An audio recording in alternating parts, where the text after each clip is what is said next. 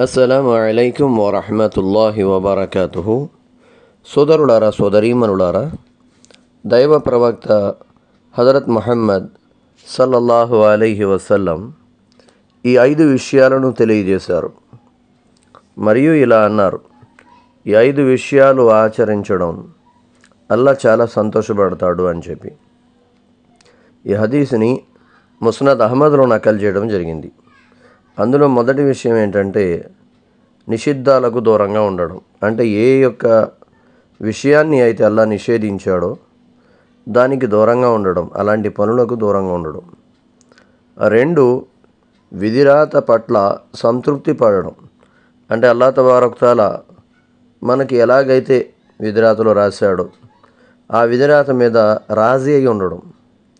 మూడోది తోటి వారికి మేలు చేస్తే పరిపూర్ణమైన విశ్వాసి అయిపోతావు నువ్వు అన్నారు.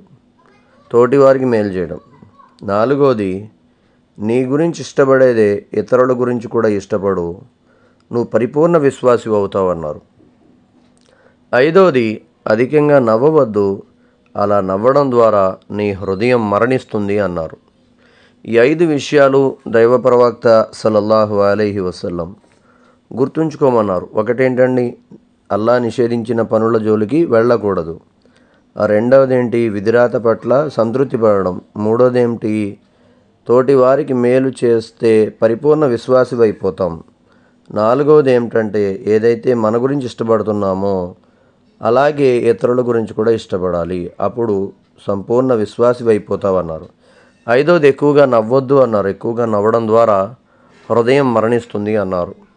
సోదరులారా సోదరీమనులారా ఈ ఐదు విషయాల పట్లల్లా మనందరికీ ఆచరించే సద్బుద్ధి సౌభాగ్యాన్ని ప్రసాదించుగాక అలాగే మన కొత్త ఛానల్ అయినటువంటి TIRC Telugu Islamic research centre అలాగే మన తెలుగు ఇస్లామిక్ కార్టూన్స్ ఈ ఛానల్ కూడా తప్పకుండా సబ్స్క్రైబ్ చేసుకోండి.